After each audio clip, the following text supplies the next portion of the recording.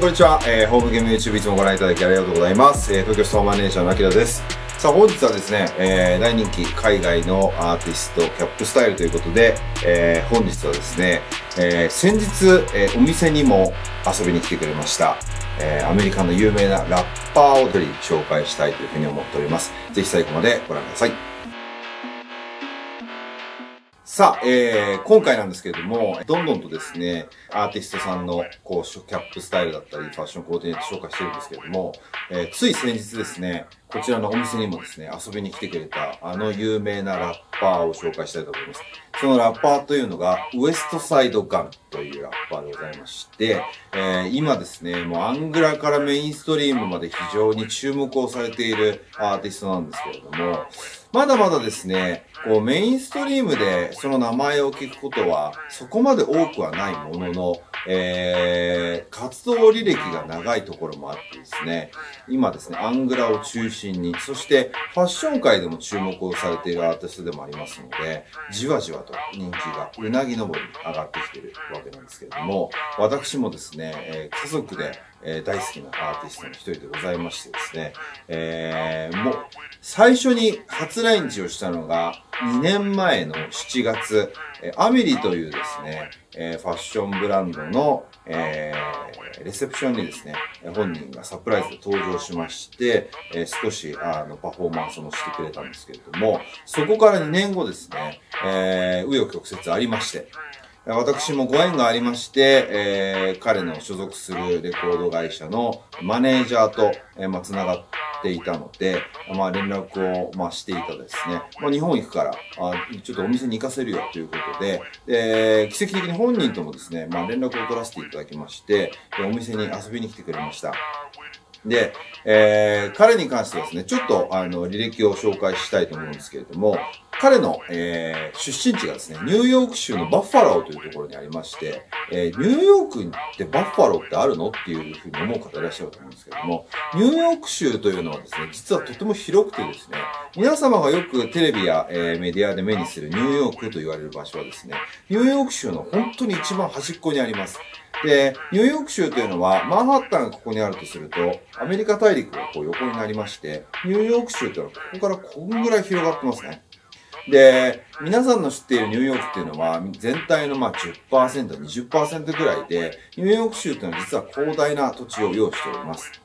で、このバッファローというのはですね、あの、有名なところだとデトロイト、エミネムの出身地のデトロイトがあるんですけれども、まあ、デトロイトに続いて2番目の工業都市というふうに言われておりまして、ニューエラが、えー、有名な本拠地として、えー、バッファローに、えー、その本拠地を置いてるわけなんですけれども、まあ、そこから、え、出身として、まあ、活動を開始しまして、で、非常にですね、あの、工業都市っていうのは、貧困地域もですね、多くてですね、やはりこう、ヒップホップを語る上では欠かせない、え、まあ、要素の一つではあるんですけれども、まあそういったエリアですね、サバイブをしてきて、えー、ここまで成り上がった、まあ、ラッパーの一人なんですけれども、えー、まあ家族経営というか、一緒にですね、活動しているメインの3人がおりまして、ウエストサイドガンとベニーダ・ブッチャーとコンウェイ・ザ・マシン。この3人が、まあ三大巨頭として主に活動しております。で、彼らはですね、そのコンウェイとウエストサイドガンは腹違いの兄弟で、ベニーダ・ブッチャーというのはもういとこですね。なので完全に家族です。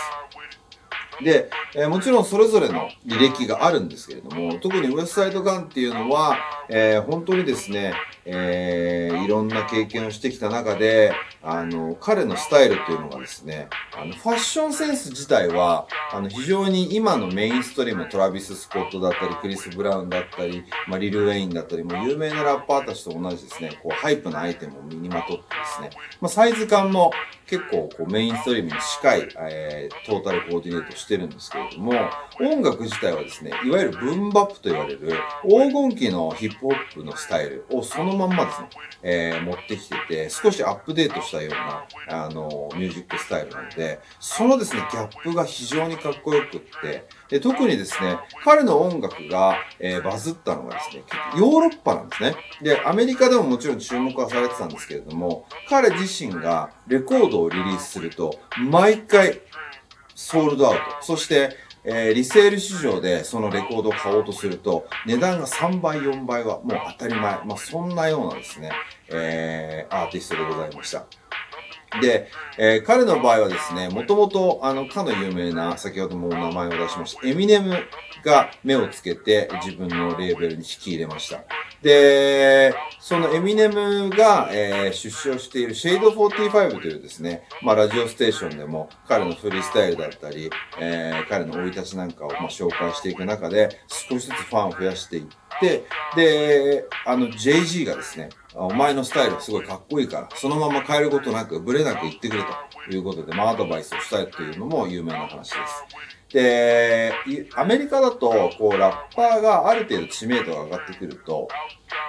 WXL というですね、えー、メディアがございまして、アメリカだと、コンプレックス、WXL、そしてソースマガジン。まあ、これが、あの、非常に有名なメディア媒体なんですけれども、まあ、その中の一つの WXL っていうのが、マガジンを出してまして、えー、毎回ですね、毎年、えー、これから来るであろう10人を選出して、えー、テンフレッシュメンというですね、え、企画で、雑誌の表紙にですね、そのアーティストが登場して、で、そこに紹介されると、ある程度、そこからの先の未来が約束されるであろうと言われるような、まあ、企画なんですけれども、まあ、そこに、大体皆さん若手の時に、例えばウィズ・カリファーだったりとか、えー、フューチャーとか、まあ、いろんな今有名になってる、えー、アーティストがですね、名を連ねて登場していたんですけれども、ウェスサイドガンに関しては、そこに出たことがありません。もう出るべき人ではあったんですけれども、それなんでかっていうと、JG がそのアドバイスをした時に、お前はそういうメディアに出なくていい。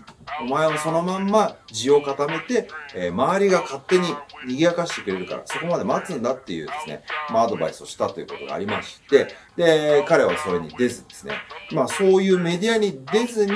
いろんなところで紹介されて、で、今はもう亡くなってしまいましたけれども、あの、黒人初のですね、デザイナーとして、えー、ルイ・ヴィトンに選出されたバージル・アブローがですね、えー、パリのファッションウィークに彼を呼んで、えー、ルイ・ヴィトンのメインのモデルで使ったりとかですね、あの、今で言うとこう、エーサープロッキーが結構ファッションと音楽、あの同居して有名なんですけれども、まあ、それに近い感じでですね、あの、そういったストリートからゴリゴリのラッパーとして出てきたウェスサイドガンがファッションとしても注目されて、そしてそのおしゃれな音楽がですね、ですね一緒に相まって注目されたということで、あの、非常に注目すべき、あの、アーティストの一人なんですけれども、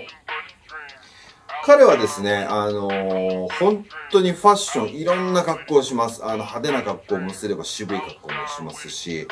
で、その中でもですね、今回は、えー、何枚か紹介したいなというふうに思うんですけれども、まずこちらがですね、えー、JG の、えー、レーベルのパーティーに呼ばれた時の写真なんですけれども、まあもちろんちょっとレセプションなので、ちょっとおしゃれなシャツを着てますけれども、やはりですね、このキャップは欠かせないということで、このプレーンの、えー、ニューエラは、この JG が主催するロックネーションの、えロゴなんですけれども、これも今でこそある程度目にするようになりましたけど、当時は本当にどこ探してもないようなアイテムでした。で、これもですね、つば裏緑のスナップバックタイプのニューエラなんですけれども、950ですね。こちらを着用しております。えー、そしてですね、続きまして、こちらがですね、B ロゴの、えー、ニューエラを被っておりますけれども、こちらはですね、えー、このグリセルダレコーズという自分が経営しているですね、主催のレーベルがあるんですけれども、そちらとニューエラのコラボで出したアイテムになってまして、これもリセール市場かなり高騰しております。で、簡単には多分手に入るアイテムではないと思いますけれども、彼ちなみにですね、頭のサイズ8分の5って言ってました。で、あの、ホームゲームに来た時はですね、結構大量に買ってってくれまして、あの、選び方もですね、基準が非常に自分の中でルールがあるので、まあ、すごいやっぱこだわりを持って帽子をかぶってるんだなというふうに思いました。まあ、こんな感じですね。まあ、多種多様ないろんなスタイルはある中で、あの、ウエストサイドガンも帽子いっぱい被ってるんですけれども、あの、いろいろ写真は出しておきますけれども、あの、彼のですね、まあ、サイズ感だったり、あともう着てるブランドがかなり hype だったりもするんですけれども、あの、こちらですね、僕がこれ着てるのが、ちょうどウエストサイドガン本人にいただいたあの T シャツなんですけれども、彼のロゴがですね、このスコーピオンサソリのマークを使ってまして、で、この T シャツもですね、実は、多分この動画撮ってる、えー、時もそうですし、アップロードされる時もそうですけど、まだリリースされてません。で、彼のこの主催している、あの、アイテムも T シャツとかパーカーとか、結構帽子もあるんですけども、まあ手に入らないですし、僕もですね、何回もそのオンラインにアップされるよっていう告知を見て挑戦したことあるんですけれども、なかなか手に入らないですね。で、アメリカの eBay って言ってヤフーオークションのアメリカ版みたいなのがあるんですけど、そこ行ってもめちゃくちゃ高いです。で、パーカーも物によっては昔のものだともう10万ぐらいしちゃったりとか、もうレコードもそうですし、洋服も結構今あんまりいないんじゃないですかね。その音楽もそうですし、そのファッションも注目されてるっていうラッパーっていうのは、もちろんあのトラビス・スコットとかはもうそのナイキから靴を出したりとかですね、自分のカクタスジャックを運営したりとか、まあしてますけれども、そのレベルじゃないにせよ、アングラでここまでえー、自分のマーチャンダイズと、そして音楽が注目されているラッパーっていうのも数少ないかと思います。で、彼に関してはですね、まあ、特徴的にそのギャップがあるというふうにお伝えしましたけれども、音楽もですね、ブーンバップだと本当音がおしゃれです。で、そのおしゃれな音に対して自分のサバイブしてきたリアルな歌詞をですね、載せるっていうスタイルもですね、彼が結構確立してきたスタイルかと思いますので、ぜひですね、もちろんファッションもそうなんですけれども、この機会に彼自身のアーティストとしての一面として音楽も注目していただけたら嬉しく思います。あの、僕もですね、ほんと毎日聞いてますし、で、彼が、えー、主催するそのレーベルに所属するアーティストたちもですね、あの、おしゃれな人たちばっかりですし、ファッションもめちゃくちゃかっこいいので、ぜひ参考にしていただけたらというふうに思います。そしてですね、あの、ホームゲーム東京は本当に毎週毎週のようにいろんなアーティスト、なかなかアメリカでも会えないようなアーティストが足しげく通ってくれるような、あの、お店になってきて、あの、非常に嬉しい限りです。あの、自分自身がたまたまつながりがあって呼んできていただくアーティストもいればですね、あの、アーティストを通じてこの名前を聞いてお店にあの遊びに来てくれたり買い物してくれるっていう、そんなアーティストもいらっしゃいますので、ぜひですね、もちろんあの、いろんな方のスポットになりつつあるので、本当に嬉しく思いますし、えー、日々皆様のあのサポートに本当に感謝しております。ありがとうございます。ぜひですね、まあ、そういったスポットの一つとして皆様も遊びに来ていただけたらと思いますし、もしかしたら、えー、チャンスがあればそういったアーティストとリンクリンクできる、そんな場所にもなればなというふうに思ってますので、ぜひですね、あの、もう本当に急遽来てくれたアーティストだったので、この機会にぜひご紹介したいというふうに思いました。